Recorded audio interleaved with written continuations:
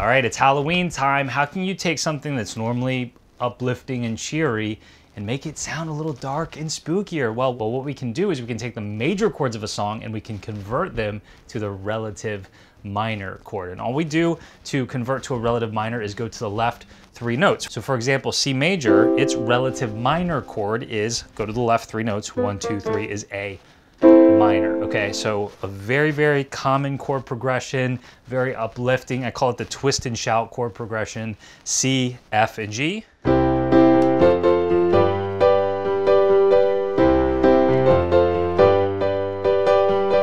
Not too much spooky about that, not too much creepy about that, but what if we took all three of those major chords, C major, F major, G major, converted each one of them to the relative minor chords. Let's see if we can get it to sound more like it's Halloween time around here.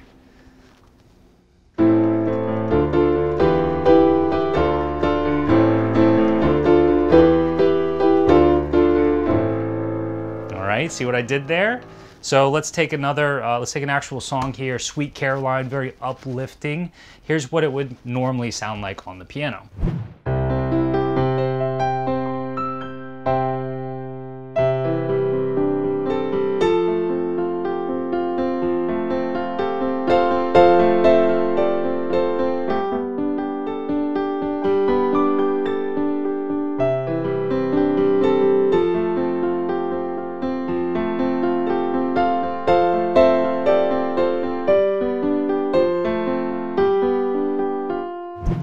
And now here's a clip of the same song, but with, with relative minor chords.